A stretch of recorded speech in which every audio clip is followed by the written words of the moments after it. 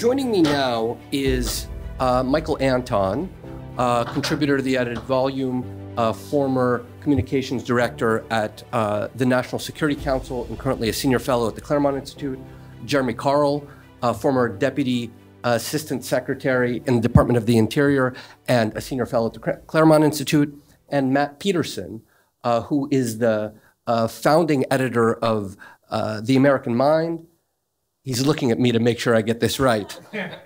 Founder of a venture firm and currently uh, the executive editor of Blaze Media. Uh, we will start with Michael Anton, please. Push something? I guess I do. So I won't read to you. I'll just keep it here so I can see it. These are Arthur's instructions to me as to what to talk about. He doesn't actually have any power of the purse over me, so I can probably say what I want. He doesn't have a lot of recourse, but I try to be a good colleague and and and do what's asked of me. So he wants me to talk about how the left, how first of all how it took over everything, why it's held on so tightly, and what we can do to, you know, shake it or I.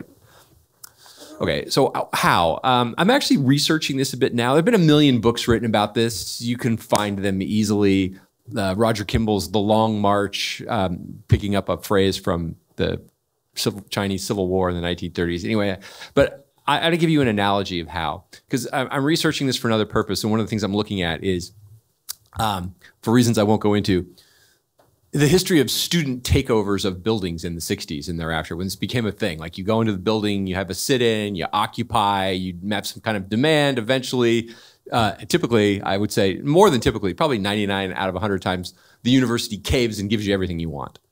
Um, there's even a movie that I, I, I, recently watched about this that I had never heard of, and it was called The Strawberry Statement. Totally forgotten, 1970. It's about a sit-in at an unnamed Bay Area university. How did they do it? Well, you read about it, they're, they're actually fairly clever. Most of these buildings, at least in those days, they're just open, right? There's a bunch of different doors. You walk in, you got to file your papers. You got to. There's got a lot of reasons to be in there. So you have a conspiracy with two, three hundred people beforehand, and you trickle in over the course of a few hours. And once you've reached critical mass you sit down, you block the doors, you start chanting, you break out the signs, and so on and so forth. But just one at a time, you go in. This is the way that they, in effect, took over. You do it very quietly. You don't announce your intent until you have physical control. Um, this is the way, in a, in a sense, that the left took over a lot of our institutions. They nobody comes in saying we're going to take over the university and make it into a left-wing anti-American hate fest. It's just you hire one person at a time as quietly as possible they only when you have critical mass does the real agenda reveal itself. Or in another context, similar, but I, th and this is an anecdote I approve of. Um, some of our, our friends and teacher, a Harvard professor, retired now named Harvey Mansfield, had to keep his head down for a long time until he got tenure in 1965. And when he got tenure, he wrote a telegram. That's how long ago this was to his mentor, Leo Strauss. It says, yeah, achieved, or I forgot exactly what the word was, but I definitely remember the second sentence. And there were only two sentences, one word, like achieved. And then the second was, now we run up the Jolly Roger. In other words, now that you can't touch me, back then tenure was taken seriously. Now I will reveal who I really am and I'll start giving Harvard uh, a headache on a daily basis, which he managed to do for about 40 years, 60 years, I should say. So this is the way they take it out very slowly, right? Under the guise of um, fairness, freedom, free speech, and so on. When there's critical mass, then you announce yourself and you change the rules in a sense. If anybody wants to get really depressed, um, don't recommend, but read what it's like on a university hiring committee these days, or what you have to do to pass muster to get hired. Forget, or just to get, even forget to get hired. Just to get an interview, just to get past the first round in a university committee, it's almost impossible. And it's changed extremely rapidly just in the past, let's say, three years. Okay, why have they held on? Well, okay, I think that was part two of my charge.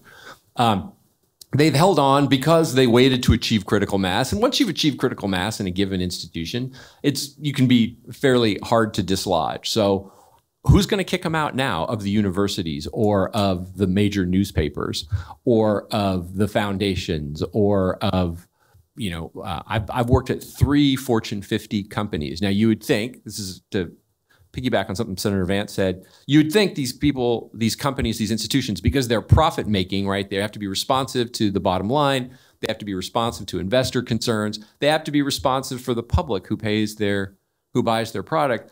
And yet they're overwhelmingly just as left wing. They're not quite as bad as, let's say, a women's studies department at Oberlin College, but there's, a lot, there's more in common with a Fortune 50 boardroom and a, and a, and a, and a mid tier sociology department than you might think.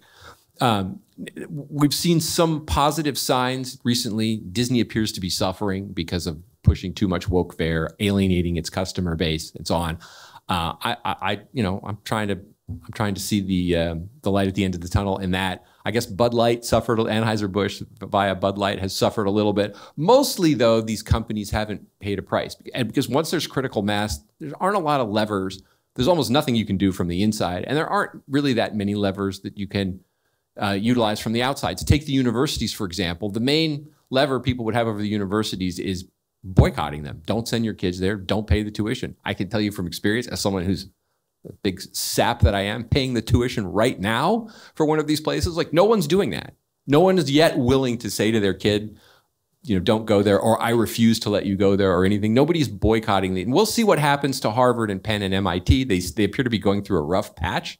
Uh, one of them, I think, is right now without a president. Maybe two more soon will be, although I think Claudine Gay is going to survive at Harvard. That's my estimation. But, you know, hey, they haven't suffered like this in a long time. So maybe that's something uh, to look forward to or something to be optimistic about.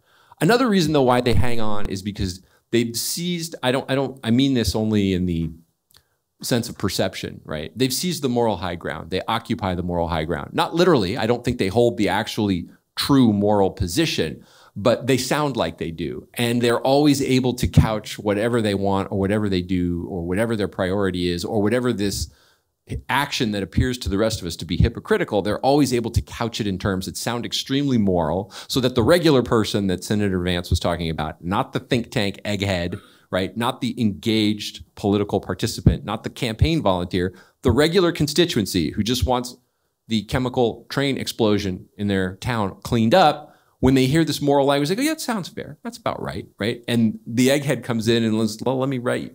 I can write 10,000 words about why my vision of justice is, is different from theirs.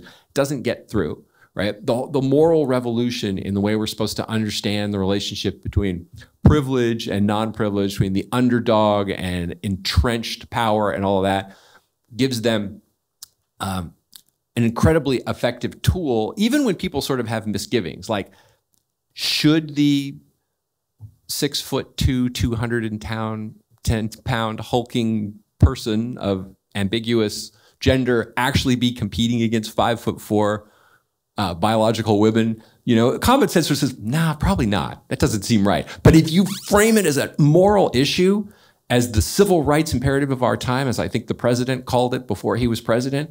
And if you if you guilt people and shame them into thinking that you know you're you're you're against progress, you're against the disadvantaged, they they can kind of I, I think maybe not fully genuinely, but they can be made to feel misgivings that overcome their common sense. And at a minimum, if it doesn't fully convert them to this cause, it makes them kind of recede into the background and say, well, I'm not going to raise a stink. I'm not going to raise a stink about that because it, it makes me look bad. And I'm actually not even sure that I'm wrong. So holding that moral high ground or that moral whip hand is very important. What could we do against all of this? Well, since we're in Capitol Hill, we're in the Capitol, or I don't know, we're underground somewhere. Um, uh, I, I can think of two things that members of Congress could and should do that they almost never do right? One is just don't give them any money, right? You have power of the purse. Um, I, I teach a class, we all do. I teach for Hillsdale College, and we're all supposed to know something about the Constitution. Well, it's somewhere in Article 1. It says that not only does only the Congress, that is the Senate and the House of Representatives have the power of the purse. Only ultimately the House of Representatives has the power of the purse, right? I can show you where this is. If you don't give them any money, they can't spend any money. And yet, whenever some controversial, horrible thing comes up, or, or the worst behaving departments in the US government, the senator just mentioned the Department of Justice, right, which controls, among other things, the FBI. Whenever one of their bills comes up, the Republicans always vote to give them more money, right? So they, they gave the FBI some huge raise. I'm not going to say the number because I'll forget it, and then everyone will jump on me. You know, you were one digit off or whatever. Um, not only did they give expand their budget, but they uh, all voted. I am sure some people voted no, but anyway, it passed to build them a gigantic new sparkly headquarters in the DC area, right? Given all the malfeasance we've seen come out about this particular agency in the last seven years, they don't deserve any of this. And yet the Republicans can't stop it, right? And even if you can't stop it, I would say if there are any Republican members in the room, I'm looking at you, even if you can't stop it, at least vote no, just symbolically. Just put yourself on the record saying, okay, this is going to get smashed through anyway. There's nothing I can do. The leadership is for it. They've got the votes, whatever. But I, in good conscience, can't put my name on it. But they always go along. And I can, we could point to a million more examples of things that Republican elected officials know are wrong, that their constituents don't support, that if it was explained to those constituents, they would especially not support, and Republicans pay for it repeatedly anyway. The other power, this is really more for the Senate side, although there are levers that the House side could push, is over personnel. Stop voting to confirm people who say they're going to do bad things in the US government. So, again, JD Vance teed this up for me. Thank you, Senator, right? He was talking about airline pilots. Well, we have a sort of similar issue on the military side where the last chief of staff of the U.S. Air Force recently became the chairman of the Joint Chiefs of Staff. It's the highest uniform position in the United States military. And he said, and one of his top, if not his top priority as Air Force Chief of Staff, and it will continue to be uh, as the head of, well, he's not really the head of the whole military. It's complicated the way the Joint Staff operates. But um, you know, his priority is to diversify these ranks. Now, as the senator said, fine with that as as long as we're diversifying consistent with high standards and, and high um, know, without any diminution of standards, without any lowering of qualifications. But when that just diversity for its own sake becomes a priority, you're no longer selecting for that, you're going to have a problem. So this general was uh, at, you know, very loudly, clearly on the record what he wanted to do. And big stink raised, a lot of outrage, a lot of concern, a lot of controversy. And what happens in the end? The Republicans all just roll over, and he was confirmed with like 85 votes or something. I forgot what it was, but it was over 80. Nobody stands up and says no, right? Either say that you're not going to do this, that you're going to prioritize qualifications, readiness, the ability to defend the United States, carry out military missions, or you don't get our vote. But we lay down every time. So these are things that could be done from this building by the elected members who serve in this building in complete accordance and keeping with the constitutional duties of their offices and with the oath that they take. And in my humble opinion, having never served in Congress and never will, uh, they uh, too seldom do those things. And I, for one, would like to see them do it just occasionally would be a good start. And then increasingly, and then universally. Thank you. Uh, Jeremy Carl. Thanks very much, Arthur. Um, so I flew up here from uh, Montana over the weekend. Uh, I'm going to talk about immigration a little bit. Um, and I, on the way back from the airport, I had an Uber driver from Afghanistan, and I like to chat up drivers. So I was just sort of talking with him, and we had a really good talk. And I asked where I'm from. I said I'm from Montana. Uh, he said, "Oh, I have friends in Missoula," and uh, I actually knew about that because we had a recent resettlement of 130 Afghan refugees in Missoula and Montana being a small state and not a particularly diverse state, that was sort of a newsworthy event, a significant number of refugees. And sure enough, not that long later, there was a rape case involving one of those refugees. Um, now, we never consented for that refugee resettlement, although this was legal immigration. You know, I did do. Um, Congressman Rosendale uh, from uh, Montana had actually objected to it. The governor objected. But honestly, there's not much we can do. And yeah, I'm sitting here in Montana saying, well, do we control our own country? Do we control who really comes here? And I really think it underscores to me that immigration is the fundamental issue, the first issue that transcends all other issues because it goes to really the heart of who are we as a people? Like, and do we get to choose? Um, and it's a battle that I think we as a nation right now are losing.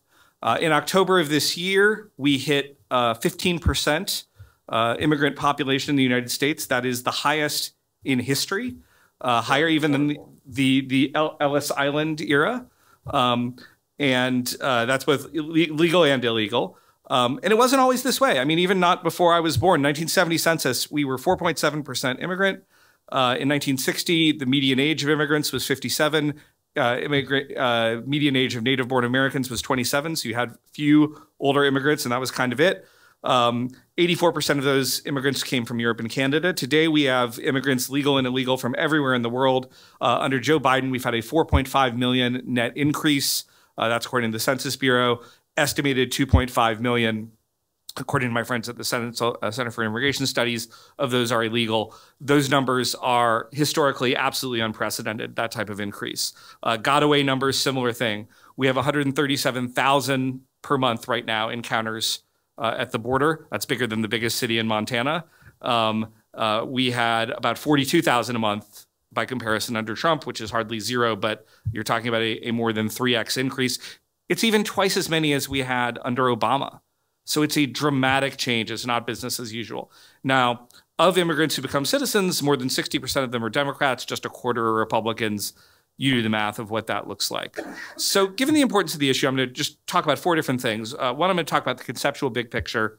Secondly, because we're on the Hill, I'm going to give you a few thoughts uh, on what we can do with current legislation, followed by sort of long term strategic goals, and finally, sort of long term practical things that we could do uh, if we have the White House and when we have the White House again.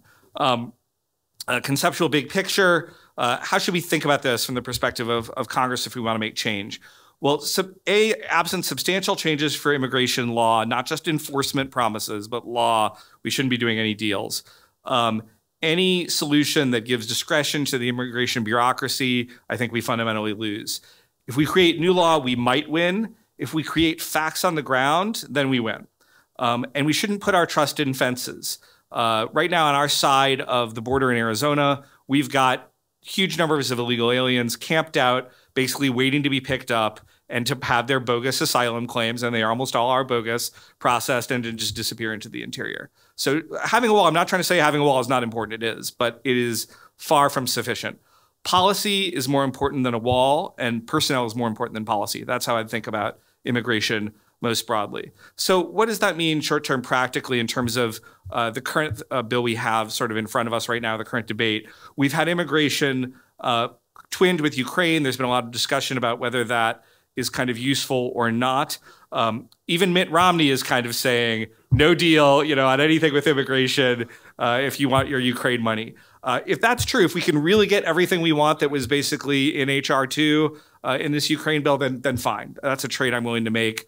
Um, but if not, I just know our history as a party. I'm really worried we're going to give up uh, fundamental things and then, uh, as a result, give also tens of billions of dollars to Ukraine, with regardless of the merits of it, is not something that is uh, popular with an increasing number of GOP voters. So, what should be the things in that sort of a bill? One, I think parole is the most important thing. So, you have to reform the parole issue because that's how you actually release people into the interior and then they're kind of never seen again functionally. Uh, it's much more important than asylum, and it's not a coincidence that the Democrats have been willing to do deals on asylum, but not really parole. Uh, secondly, some of the smaller loopholes when you deal with asylum, things like credible fear and what a particular social group means uh, in the law, whether that means domestic violence or being in a bad neighborhood is included in that, uh, which we should certainly say no. Um, those are things the Democrats have even indicated they have some willingness to move on. Obviously, those are mandatory. Um, again, I'm going to get a little bit wonky, but the Flores loophole change, TV uh, PRA, uh, things where basically these both involve uh, what you deal with uh, minors uh, the idea that if a minor is not from Mexico or Canada, we kind of can't do anything with them if they show up, as opposed to what we should do, which is just call up their embassy and be like, hey, we've got somebody from your country, you need to go deal with them.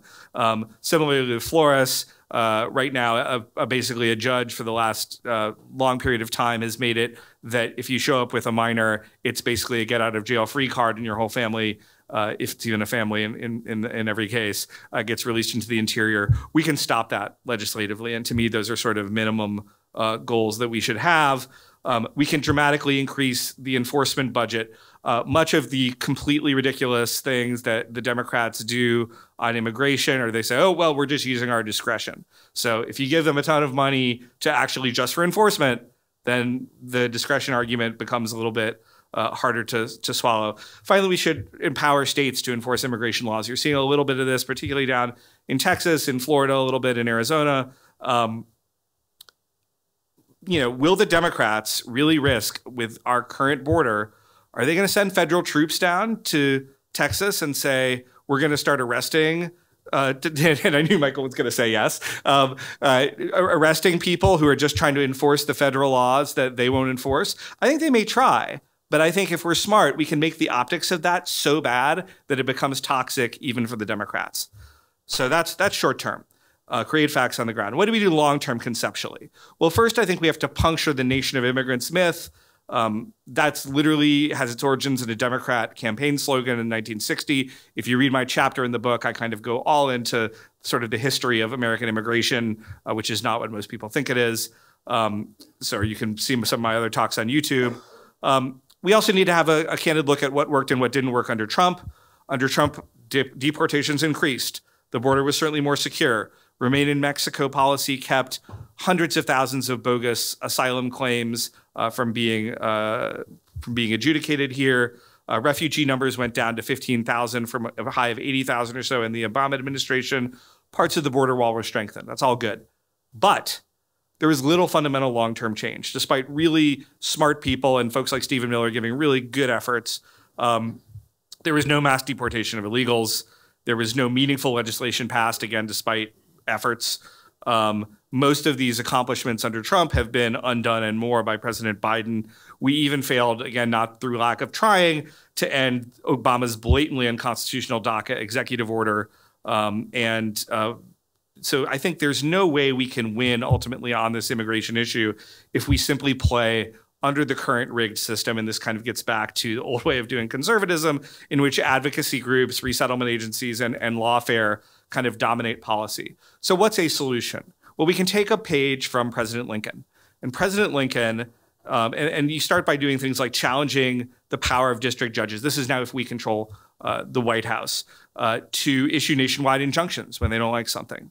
Uh, Lincoln argued against judicial supremacy in uh, the Civil War. He took Dred Scott. He took ex parte Merryman um, when the court attempted to limit his authority. And he said, basically, with good legal opinions, he said, you know what, I'm just not going to do that. That's nice that you have that that opinion. Uh, and that means that what you need, uh, Noah Feldman of Harvard Law has argued that even the Emancipation Proclamation was probably a constitutional violation. Certainly not a moral violation, but a constitutional violation. So the question is, are we going to talk about the left's version of a constitutional violation, or are we going to make the correct legal arguments to do the things that we know are the right thing to do? We need to rescue that spirit of Lincoln. That also means my number one priority is an aggressive counsel, White House counsel's office in the next administration. People are really going to be unafraid to to kind of push for uh, these very fundamental changes. Um, so, on a policy perspective, what do you do? Uh, you de-bureaucratize uh, immigration claims. You take authority away from immigration judges, quote unquote. They're not real judges. You do things, simple things, even like for asylum claims. Everything is heard by three asylum judges. You need all of them to say yes before you can get in. Even just doing that little thing would get rid of a lot of bogus things. We need to remove the temporary protected status uh, program entirely, as opposed to kind of doing this country by country thing. We've got 400,000 illegals right now, people who would be here illegally, except they've been given temporary protected status. What does temporary mean? Well, it's running on 34 years for Somalis, 25 for Hondurans, 25 years for Nicaraguans, 15 years for Haiti. Doesn't really feel so temporary at this point. Um, Finally, I'd say we need to consider, and this really gets to, to things that Senator Vance would say, what I would call the nuclear option. And this is really an up from conservatism uh, thing, from a conservatism that always loses. Um, I think the Department of Justice, day one of an administra- our next administration, needs to open up a January 6th style investigation of the activities of the Biden administration and immigration and their state enablers and criminally prosecute, if they find appropriate evidence, administration officials who have broken their oath of office and intentionally violated the law. And I'm very, very confident, by the way, that if you start doing FOIA communications, you're going to find a lot of things where uh, you're going to you're going to have that happen from uh, Secretary Mayorkas on down. Um, and I want to be clear: what I'm talking about here is not criminalizing policy disagreement. Okay, the left is not going to agree with us on immigration policy, and that's fine. I'm talking about prosecuting the criminal behavior that is going on right now of the Biden administration who refuses to enforce the duly in, enacted laws of the United States because they feel that it will hurt them politically. And until you do that, until you make people personally pay on the left for blatantly flouting laws, not just by losing an election, but by losing their freedom, you're going to have the same sorts of bad acting from the left that you always have had. There need to be real consequences for Democrats who engage in the sort of criminal behavior that we have seen, unfortunately, from this administration and their enablers, often at the state level. And when you do that, when you have those sorts of real consequences, you're going to get the change you need. So, with that, Thank you, Jeremy. Uh, Matt Peterson. So uh, anyone paying, paying attention now uh, knows that in America, there's very few elite professions or corporations allow their members to safely dissent from woke dogma. Um, everyone knows this. Everyone knows they risk their job or career if they do so publicly. Worse, uh, we know the views of roughly half the country are increasingly opposed, suppressed, delegitimized uh, by major corporations in key sectors like tech, finance, and media. Um, as we learn more and more every day, big corporate increasingly works directly with the administrative state to spy on and deplatform, debank, unperson, and otherwise attack dissenting political, cultural organizations, citizens, and political movements. That's where we're at. So, first off, it's suffice it to say, if we're going to talk about the economic war, we've already lost this battle, right? We did something wrong. We've lost big corporate. That was supposed to be Republican. It's gone. So now this is a time to, to, we have to, and this is what this book is about. We have to wholly rethink our approach if we're going to have any hope of winning. So the way I look at this is there's no easy path to victory. There's a clear, but there is a clear strategy moving forward. It's not complicated. Um, but victory is not going to be possible unless we first boldly and publicly acknowledge that our economy is a political and cultural war zone and act accordingly. So, uh, Arthur, he gave me two conflicting uh, conflicting orders. One was to keep it within the time, and the other was to explain how we got here. I'm gonna I'm gonna skip the how we got here part and go to the other half, what we should do. Uh, but suffice it to say, uh, I am very confident in arguing that the founders, the Republican Party of Abraham Lincoln, uh, the Whig Party, Henry Clay, the American System, Teddy Roosevelt, all of those people in the past did not talk about business the way that we do now. Uh, it is very new to consider business a neutral space, um, and, and uh, they would have issues with the way in which the conservative movement has talked about it post World War II. But let's look forward. There's two paths forward. One is uh, it's a pincer movement. If we're going to stop woke capital, one is legal and political action, and the other is a new commercial cultural movement, intense competition, and, and radical acceleration, accelerated innovation. I'm going to speak mainly about the first today because of where we are. I think the second is ultimately the way you win, but the first, the political and legal action, is necessary to hasten and unleash the second. So, the first line of attack, the first thing we should talk about is, is, is very simple, and I can't really emphasize this enough. People, very smart people in this space, do not uh, do not grasp this in the way that they should. Internalize it. We need to use the weapons that are already available to us. Here's one of the big problems. Until recently, the right just hasn't tried very hard at this stuff. And there's no greater example of this uh, than what has been going on in the last few weeks in your daily headlines. So listen to this. This is probably more important than any of the intellectual stuff I say. Elon Musk recently said this quote, Media Matters is an evil propaganda machine. We are suing them in every country in which they operate, and we will pursue not only Media Matters, but anyone who funds Media Matters. They should go to hell, and I hope they do. Is a guy who also declared war on Disney, right? That's the right mindset if you want to win the war. Uh, you, you don't bend, you don't break, you go on the attack instead. And people know this. The voters know this. Musk has become a hero to half the nation. But here, here's my point. As soon as Musk sued Media Matters, right, in the last few weeks, he inspired a host of right leaning media companies and tech companies to follow suit, to do the same. And more are going to follow his lead. Okay, so why didn't we do that years ago? Why haven't we done that already?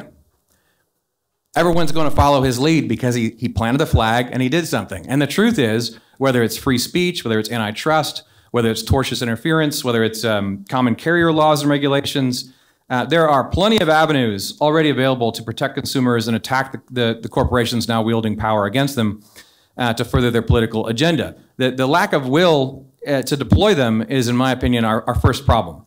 So if you jettison the blinders of the past and you engage in a kind of full scale economic war that corporations are already waging against the other side, against us, you will unleash the talent and creativity of politicians, policymakers, and lawyers at a much greater scale with much greater effectiveness than anything we've seen so far. And that's already happening. We need more of it. There's been state attorney generals in states like Texas, Florida, Missouri, elsewhere. They've proven that you can, you can win using the framework of existing law, whether it's filing suits against Google for antitrust violations or the Biden administration for colluding with big tech. Uh, these things are popular with voters and even many donors alike. So if you join the fight, that you know that's the first step. Use existing law. Second, there's plenty of areas in which new or radically reformed laws and regulations can reshape the commercial landscape for the better. Obvious measures uh, pushing anti-ESG legislation, forbidding banks from discriminating against their customers. Uh, red states have to stop giving billions of taxpayer dollars to corporations that hate them. Uh, that means pulling out large amounts of money now in the hands of BlackRock and other large investment vehicles that have weaponized the trillions of dollars they control. Uh, there's been some, you know, headway there, but that needs to become the norm across the nation for the right. Same principle should apply to all large state contracts with notable businesses that oppose and attack the interests of American citizens and state residents. All special arrangements and giveaways that state and local governments have designed in the past for corporations given to them, corporations that are actively opposing the interest of their residents, of American citizens, we need to re-examine those special carve-outs, right, and take them back. The idea that that action violates conservative principles is so absurd to me. I mean, strict libertarians have been talking for decades that special cutouts for businesses distort what should be a level playing field, right? So getting rid of them should be applauded. What, what, what DeSantis did should be applauded with Disney. The entire complicated landscape of our free market is already a distorted and corrupt war zone with states like California and New York ceaselessly rewarding their friends and punishing their enemies. That's what they do. Uh, so fighting against this will, will raise awareness of the problem. And, and if you do some of the things I just mentioned above, you'll also create an ecosystem where you can, where you can foster and reward alternative businesses and financial institutions that aren't doing these things, right? Which can start, cap, they can start capturing market share from their uh, competitors, the worst offenders. Another thing, obvious but needs to be done. It's starting to happen, but not enough. Uh, in the past, we relied on the discipline of boards and shareholders uh, as a trustworthy lever to limit the political activity of a company, right?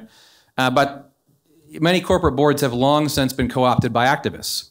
Acknowledge the reality. The real impetus behind, behind the cries for diversity on corporate boards in California and elsewhere is simply to leverage power for political purposes and you have a tangled web of NGOs, politicians, political organizations. They've succeeded over the years to take over. I mean, think about this even the industries they despise, such as the energy sector. So there's no reason, the good news is there's no reason in principle that nonprofits, politicians, political organizations on the right could act in a similar manner to the left in this arena. There's only lack of will. Um, you know, there's, there's tons of examples I could take, but to take one example of something that could exist that would put the right pressure, uh, why, why isn't there a consumers union right now that represents tech platform users and advocates on their behalf? Harmeet Dillon and I proposed that in 2019. Uh, she didn't have time, and neither did I. But such an organization would file a few high profile lawsuits a year. It would break down the ever changing terms of service. It would educate consumers about their rights and tech privacy practices, rank social media platforms, call attention to their worst actions, right? It, would be like a legit version of a, of a Media Matters, actually serving uh, people, consumers union. the idea's been around forever. Where is that? That's just one example. There's a ton of new things like that that we could see we could see coming and we need to foster. But here's the controversial and the most important thing that I'll say about the legal and political problem. And the thing that Congress must do to fight off woke capital is address its root legal cause. No one talks about this. That's our corrupted civil rights regime. Why are companies woke? It's baked into the cake.